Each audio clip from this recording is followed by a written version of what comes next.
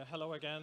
Uh, apologize for the delay. Thank you for your patience. So the topic of the presentation would be driving the transport and industrial decarbonization revolution.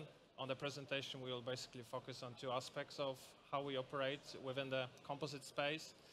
The first would be, uh, initially we'll talk a little about the company itself, then we'll dive into the uh, uh, products we have for the gas transportation, and at the end we will talk a little bit about the heavy-duty application of our composite technology.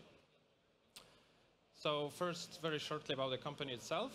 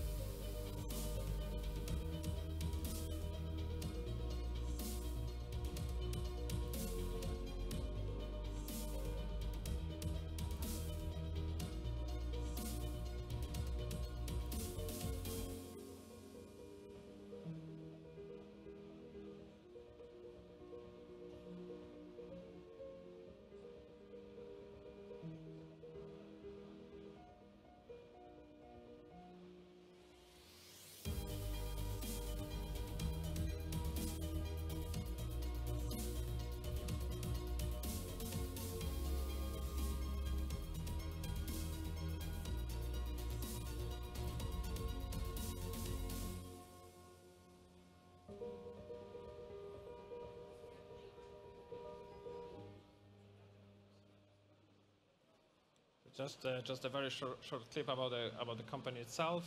Uh, so in terms of vision of the, of the company, we do believe that clean air everywhere is, is our motto and the vision, and we do believe that having a clean air is not a privilege, but it should be uh, something which is accepted globally, and every person in the world should, should have free access to it.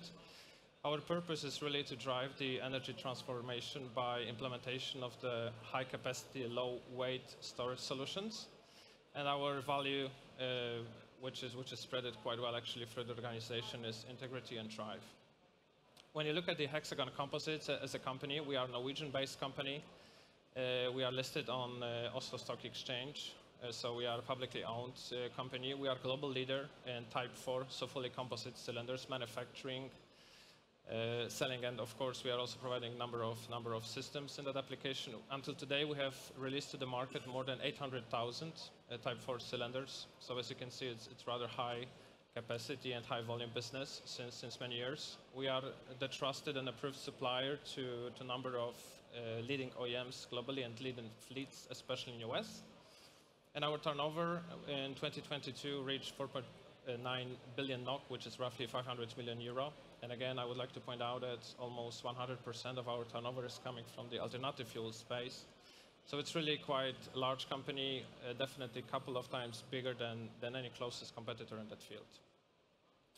When we think about the timeline and uh, the most uh, important developments in the company through the years, uh, we have started as early as 1963. So we have started in, uh, with the filament winding uh, production for NASA so we, we actually have that technology in, under our rings since, since six decades. Uh, the Hexagon Composites, as known today, was established in the year of 2000. Another quite important milestone was uh, opening the joint venture with Agility Fuel Systems, which added the system capabilities to, to our portfolio outside of the, the uh, previously owned know-how related Type 4 cylinders. Uh, also in 2015, uh, uh, Japanese conglomerate Mitsui have invested in our company and today they own almost 25% of the company. And last but not least, uh, the latest developments in 2021, we have spun off the company called Hexagon Purus, which is taking care of the zero emission applications, uh, namely hydrogen and battery technologies. And in our April 2022, we have also added uh, the company from, uh, from Graz in Austria called CryoShelter, which is taking care of the liquefied uh, gases solutions, namely LNG and LH2 for the trucking. Uh, at glance about the company again, 1,700 employees in 23 different locations. Uh, we've talked about the, the turnover already. Uh, and as, again, we, we know composites since six decades, so definitely we have the longest history and track record with, with that technology. In terms of the driving the energy transformation and, re and real impact which, uh, which our products are providing to, to the environment. So because of uh, in introduction of our product uh, to our customers in 2022, we have been able to, uh, to avoid 1.35 million metric tons of CO2 just by utilization of our products with, with our customers globally. So I think it shows also the scale and the impact of the, of the company which we have already today. In terms of the technology, uh, we basically stand on two legs. The one is the Type 4, so the composite cylinder, uh, which we have been introducing to the market since 1993. And the second part of the business, which is becoming more and more important, is system itself. So we are not only selling, we actually try to avoid this, to sell the cylinders. We, we prefer to provide a com complete solutions for the, for the customers. Uh, when we just talk about cylinder uh, itself, a Type 4 cylinder is a, is a cylinder with plastic liner uh, and uh, winding uh, made out of carbon fiber or glass fiber or both, or both of them. The cylinder is light. Uh, on the typical application for CNG and hydrogen, Type 4 cylinder is roughly 70, 70 to 75% lighter than a steel. We have no metal in our liner technology, meaning that we have no fatigue or we don't have a corrosion uh, in the outside or in the outside of the cylinder. And this represents by itself number of, a number of benefits for, for the customers. As mentioned, we are non-corrosive, so for the entire lifetime of the product, you won't see any corrosion on our product either inside or the outside of the cylinder.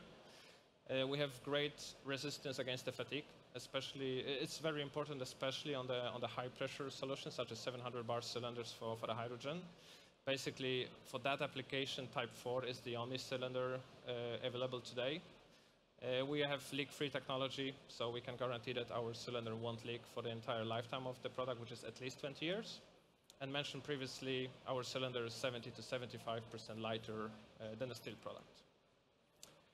I've mentioned a little bit about these systems. So core of our business today in the Hexagon Agility is a system which we provide to the heavy-duty industry. We have currently in operation more than 70,000 uh, trucks and buses uh, running, running with our systems you can see the names of the, of the companies that's either leading OEMs or one of the largest fleets we have globally. And also we have, uh, and Filippo will talk about it, we have more than 1,800 distribution modules running globally, transporting either hydrogen or natural gas. Uh, that's also globally. We have, we have applications from uh, uh running in Sweden up to Latin America. So it's truly global product which is, which is supporting the transition of the, of the alternative fuels. And I would like Filippo to step in to talk a little bit about the mobile pipelines. Thank you, Milosz. Okay, can you hear me? Yes, I guess so. My, my, name is Filippo Munna. I'm sales director at Hexagon Agility, and I'm in charge of the mobile pipeline solutions. So, so basically, my job is to uh, find the right application for these beautiful lightweight composite material containers. We have several sizes. We'll go into the details uh, later. And uh, to start my, my story, uh, I have decided to, to use a slide which, which I used only nine months ago when we were here together at World Biogas and uh, Hexagon sponsored a, roundtable focused on uh, how to scale up uh, biomethane production, especially in light of Repower EU. Uh, I, I, started my presentation with this very same slide and I decided to use it again because I think it gives the two key points. You know, we all believe that biomethane is the cleanest fuel available today. Yet, uh, we have a potential for uh, about 840 billion cubic meters of biomethane, and uh, globally, uh, we produce 34 only. So, uh, for example, and we have seen it before, Repower EU asks, for 35 alone. But, but, in Europe, we could even do better. So how can we do better? Uh, the good news is that not only the European Union, but also uh, the majors are realizing this. Uh, so we have, uh, ever, since, ever since the previous edition of World Biogas, we have news about British Petroleum, Shell, but even banks like Goldman Sachs investing on, uh, on biomethane plants uh, we can add uh, Total, uh, Eni. So it's really, really becoming popular. the challenge is that we need to find a feedstock. And most of the feedstock is, is away from the grid. is away from the point where you would use it. Either uh, a point of use can be any, an, indus an industry or an injection point on the grid. Uh, so very briefly, 24% uh, of the uh, feedstock is from animal manure. Uh, today, uh, only 7% of biomethane uh, comes from animal, animal, uh, animal, manure. Even worse with agriculture waste, you know, 59% of the potential feedstock comes from agriculture and only 3% is utilized.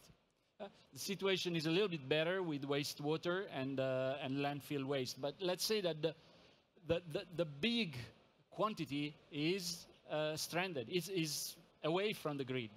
So how do we bring biomethane to the market? Uh, Milosz has already introduced our solution. We manufacture very light uh, cylinders made of composite material. These cylinders are 75% light, lighter than traditional steels one. So we uh, allow to transport two to three times the amount of gas that would be transported with the traditional technology, and yet uh, with no need of uh, fancy equipment for uh, the compression of the gas. We can use traditional compressors which are uh, relatively inexpensive and, uh, and uh, easy to maintain. So that, that's the key of our value proposition, keeping the capex investment under control and, and uh, offering uh, huge savings in, in OPEX. I have numbers to show. They will come in my next slides. So probably many of you already know uh, what a virtual pipeline is. However, uh, let me summarize it. We also have a nice video, by the way. Uh, a compressor located at a biomethane plant fills our containers to capacity. Uh, the industry uses 250 bar, but yeah, our technology would allow to go even at higher pressure. And by the way, we build containers for transportation of hydrogen, and there we go even up to 500 bar. And, and still we are uh, extremely light. When the container is filled to capacity, it travels to the point of use. Uh, we have applications in the, between 10 kilometers distance up to 900 kilometers. And normally this kind of product uh, is financially viable when you need to move between, say, 10,000 cubic meters of gas up to, say, half a million cubic meters of gas per day. So we are abundantly within the range of application of a biomethane plant. When, uh, when the container reaches the point of use, uh, it starts decanting gas, and the empty container, of course, is collected by the truck and brought back to the filling station. Here we have a nice video. It's taken in North America. It shows a North American product approved according to US DOT, but the concept would be the same in Europe. So this is this is how we fill our container. It's, it's extremely easy to handle uh, all the valves and the manifold are located at the back of the container. Filling, of course, depends on the performance of the compressor, but normally takes between half and one hour and a half and, uh, and three hours. And then the travel uh, begins. So in Europe, I would say we would talk about distances between 10 to maybe 50, 60 kilometers because we have a quite well-developed grid when the container reaches the decompression station or the injection point, uh, it's also extremely easy to connect it to the decanting equipment, disconnect the empty container. It takes about 20 minutes to do this operation and then the driver can bring the container back, uh, the empty container back to the compression station. So in a nutshell, this is, this is our solution and uh, we have sold about 1,800 of these containers globally. As Milosz pointed out, we have 60 years experience with this technology. Uh, all the containers on the space shuttle were manufactured by Lincoln Composite that today is Hexagon uh, Lincoln. So we have experience, we have started with the aerospace uh, industry and then we have uh, applied our knowledge uh, to the gas industry. So here we see containers, actually, uh, Air Liquide one uh, operate in Scotland. We have containers operating in North America, and on the bottom uh, right corner, we have a nice uh, road train uh, that operates in Scandinavia. In Scandinavia, road, road limits are quite flexible, so we can uh, really pack a, a, lot of containers in, in one go. And by doing this, our customers save a lot of money. We will see some numbers. Just let me say a few words about the system because we have seen how the cylinder is manufactured. I would like to um, explain how the system works, and then we go into numbers. This is, a this is a drawing of a container sold in North America where long tubes are allowed in Europe. In reality, we have to be within 450 liter uh, water capacity. But uh, in terms of feature of the system, the container is the same. So uh, you have seen that all the valves and uh, manifold are located at the back of the container, so they are easy uh, to reach. The container is equipped with a pressure relief device, and most importantly, with system that detect temperature around the container, because the cylinder is made of plastic. So what the cylinder is sensitive is high temperature. The fire protection system detects uh, when uh, the temperature overcomes about 104 degrees C, and at that point it starts venting the gas. But it needs to be noted that our cylinders have been tested in a bonfire without fire protection system, and there is never an explosion, as opposed to what would naturally happen with metal. Uh, the reason is that this is plastic. This is basically a fiber wrapped and uh, kept together by a resin. When the resin melts, the gas permeates through the fibers and the cylinder collapses. So the cylinder is extremely safe. These cylinders are extremely robust. They have been attacked by terrorists uh, in, in, Latin America and shot with 40 millimeter grenade, and nothing has happened, no rupture. Uh, only 15% of the thickness has been uh, scratched. And the frame is also extremely robust. We, we have truck driver being involved in accident, rollovers, uh, no gas leakage. We have been praised by Fire Bureau Department. So we have a, and, and I, I, would need a dedicated presentation to talk about safety, but uh, um, if later you want to approach me, uh, this is a topic where Hexagon is extremely, is extremely careful uh, and the product is extremely strong. Now back to numbers, which is probably what you, you are interested. I, I said uh, within the range of application of uh, our biomethane project, we believe that our solution is the most financially viable.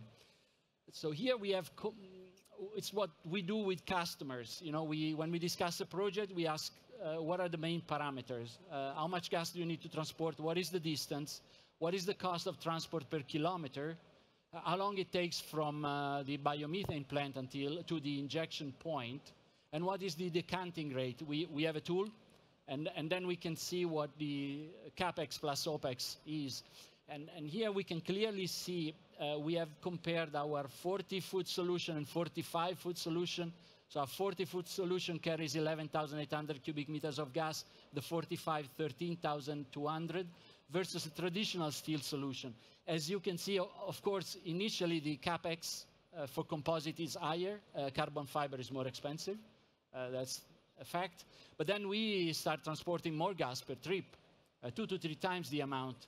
And in uh, the first case, it's 750 cubic meters an hour. Uh, we break even uh, after almost a little bit less than two years. Uh, when the amount of gas to be transported is a bit higher, 1,250 cubic meters an hour, uh, we break even even at about a year. So it's, it's a no-brainer that this is the correct fit. Then we have, here I also have an example, a comparison versus LNG. So we we are totally agnostic about technology. We respect every uh, type of technology for gas transportation and storage. And it's not a question uh, for this uh, panel. Uh, LNG is definitely the solution when you need to move huge amount of gas through long distances. But here we talk biomethane, we talk 10,000, 12,000, 15,000 cubic meters per day, and distances maybe up to 100 kilometers at most. And if I repeat the same exercise and I calculate capex uh, versus opex here, I also need to put in the equation the cost of a liquefaction plant and its maintenance. And in this case, we don't, we always are below uh, the, the curve that represents micro LNG. Here we even see what the cost, total cost of ownership comparing CNG with LNG would be in case of different production rate uh, per hour. And uh, again, uh, we still utilize the easy to maintain and relatively inexpensive compressors, but at the same time, we transport a lot of gas with one go. And that's where, where our efficiency is. So uh, this is what I wanted to say. Uh, full respect for every technology, but we believe that Type 4 has its own field of application where customer can benefit, can definitely benefit.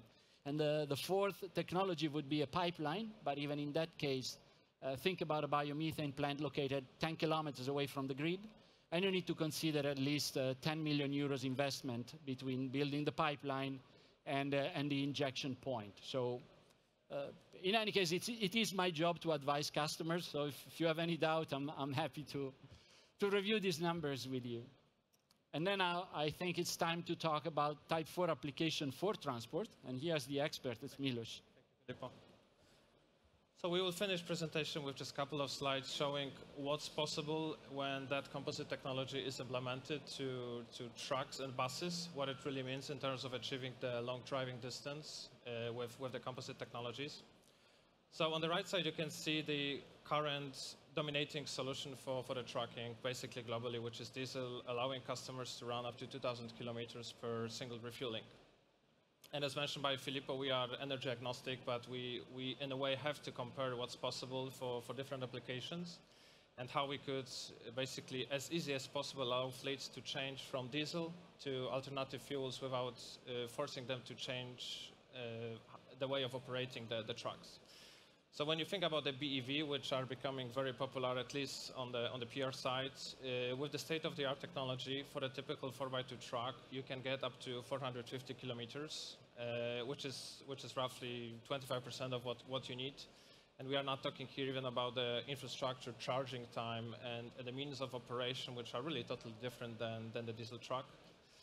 There is obviously a so-called fuel cell slash IC hydrogen alternative, which is also also heavy, heavily promoted, and we are manufacturing actually uh, 700 bar systems for that application. We even have today denomination from from two of large OEMs globally.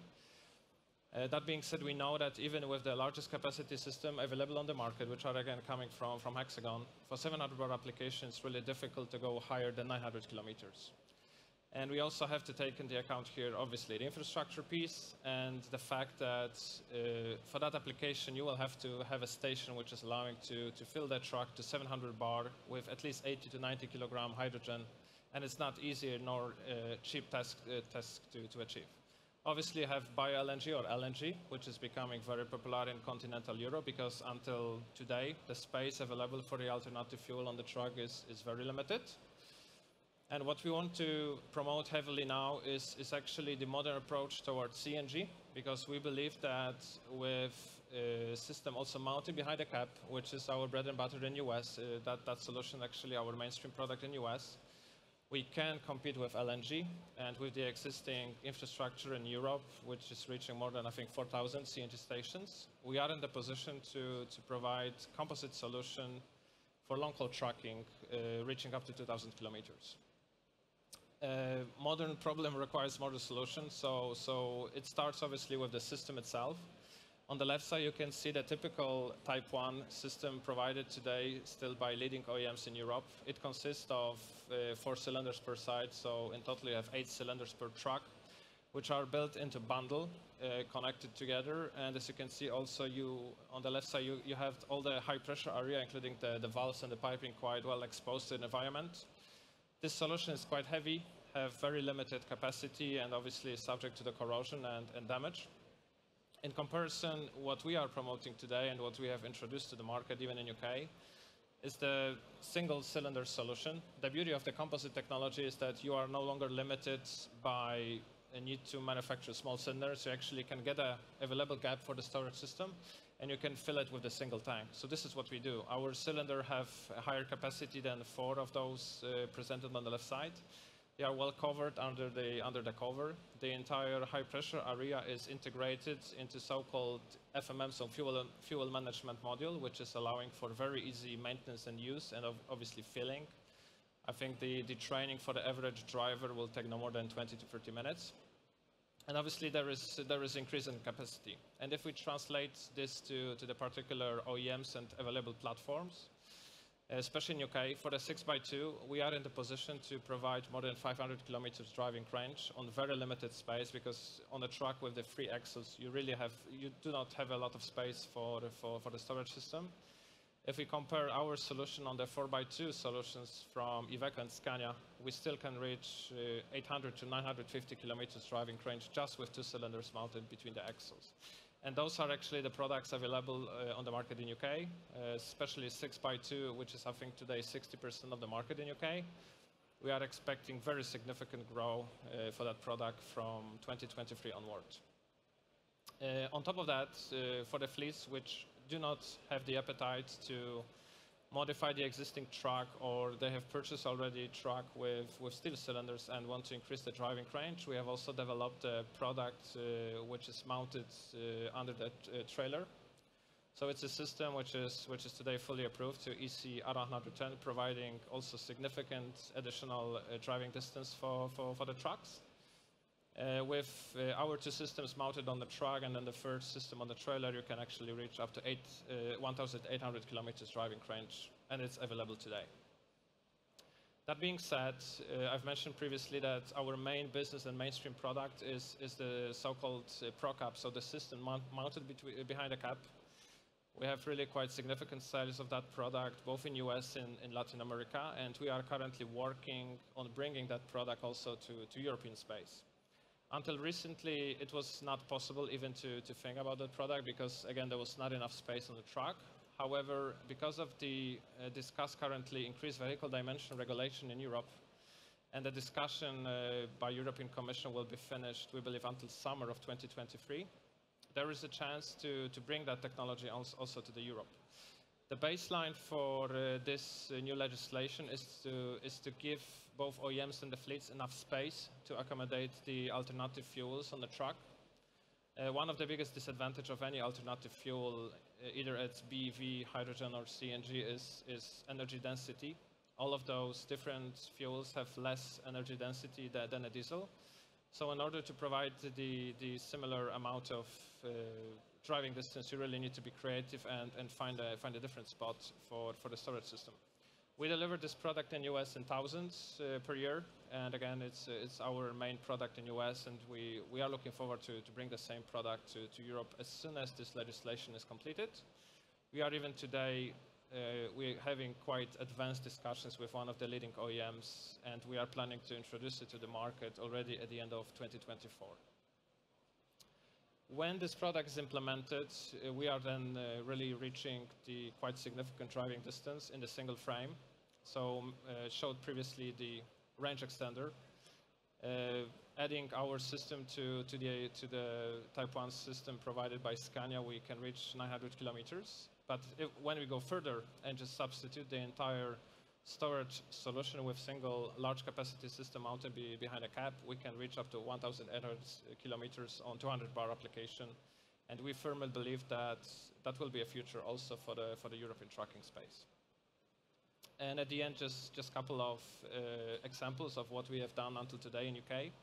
So this is the project we have committed between 2016 to 2017 with Waitrose. We have converted uh, more than 50 trucks originally they were coming with a 9 liter engine from Scania and with Type 1 cylinders mounted between the axles. We have substituted those with, with our two cylinders. By doing so, we have increased the capacity by 76 kilograms. We have increased the driving range by 50%. And at the same time, we have reduced the weight of the truck by more than 500 kilograms, which is quite significant because the tractor itself weight is, I think, 7.5 ton.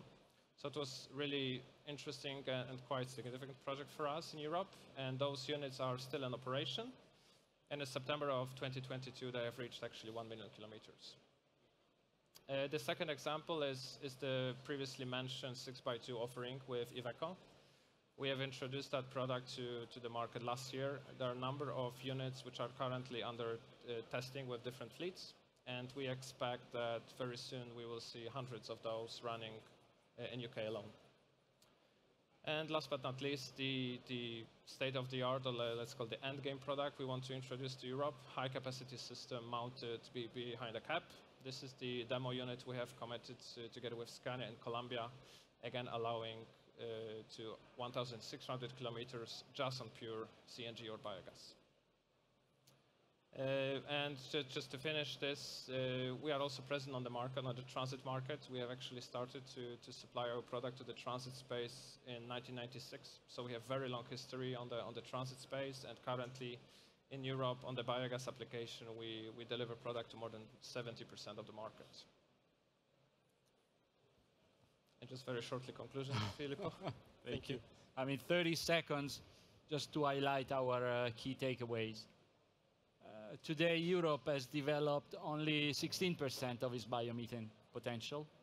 Uh, Repower EU demands more, more, biomethane, but you know it's not only Repower EU. So there is really a demand also from other countries.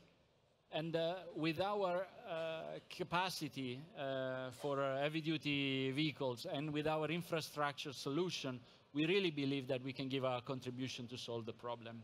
So let's put words into action and thank you.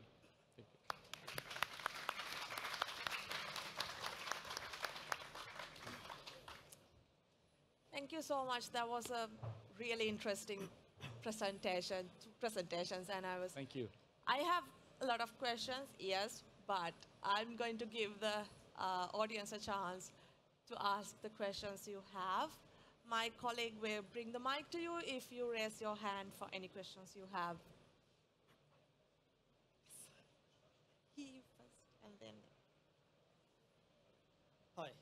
Filippo, question for you. So re uh, requalification of the, um, of the containers every five years.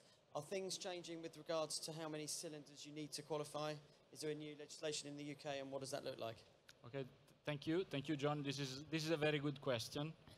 Uh, we, uh, Hexagon, because this will be limited to, to Hexagon, have a couple of months ago uh, agreed with the German TUV. We, we manufacture our cylinders in Germany, so we that we can extend our in, uh, requalification interval to 10 years. Uh, this is because there is enough data point in the market. I mentioned 1,800 containers. Uh, each container on average carries 1,114 cylinders. We have enough data points in the field to determine that the requalification interval can be extended. Uh, after 10 years, today, we will be requested to do the traditional hydro testing plus uh, slow uh, burst and cycling of six cylinders, but that would be really a minor cost. To this point, I would like to add that a third company in our group called Digital Wave has developed a, a modal acoustic emission analysis of cylinders, which provides a lot of information. It's like basically taking an X-ray of the cylinder, it provides a lot of information about the, the structure of the cylinders. Already, the US DOT has agreed to replace hydrostatic tests with the modal acoustic emission analysis. Uh, in Europe, it's not a reality yet, but the beauty is not only that we acquire more information, but uh, a modal acoustic emission analysis can be performed on the cylinder mounted in the container without, with no need of disassembling the cylinder. So that would save even more time. But yes, today I can already say we have been uh, awarded 10 years by the TUV. One last note, and sorry that my answer, but uh, it's, it's a quite a complicated topic. The TUV is one of the German notified bodies. We assume that in general, notified bodies of different countries accept what has been decided in different uh, countries, but obviously every country, and sorry for repeating the same word, has to approve and accept what the TUV has determined in general, we, it never happens that a notified body of a country A uh, refuses what a notified body of country B has decided. So I, I would expect that this can be extended to the UK. I can, I can only add that for the, for the automotive business and for the systems I have presented for light duty trucks, buses, Uh, for the entire lifetime of the product, which is 20 years, we require only visual reinspection. So, so once system is installed on the vehicle, there is no need for hydraulic retesting for the entire lifetime of the product, actually. Yeah. Two questions, if I might. The first is on the mobile pipeline. So if you have a truck that's using your cylinders, what percentage of the cylinder volume is being used to transport, and what's that sweet spot in terms of distance you can go so that you justify transporting rather than piping? Um, I assume you wouldn't even need the cab uh, storage if you're using, if you're transporting the, uh, the fuel. The second question is about what is happening in the world of producing dimethyl ether, which Volvo and Oberon Fuels was talking about, as opposed to using gaseous fuels or LNG. I take the first one and then, okay. Uh, so generally, filling the container to capacity is an, uh, also a question of compression strategy. But if you uh, overpressurize the gas a little bit, and uh, our container allows to go up to 295 bar, and you cool the gas, you can reach, uh, theoretically, you can reach 100% capacity. 100% capacity means 250 bar, 15 degrees C then the question is when you decant the gas, uh, you need to deal with the uh, limits of the pressure regulator at the decanting station, which is normally a minimum pressure of 20 bar. Uh, you normally don't go that low. So that uh, basically is your bottleneck.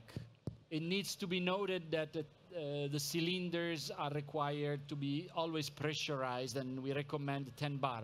But, but again, that is not a bottleneck. So you would go back home with normally with 20 bar, depending on the spec of the pressure regulator.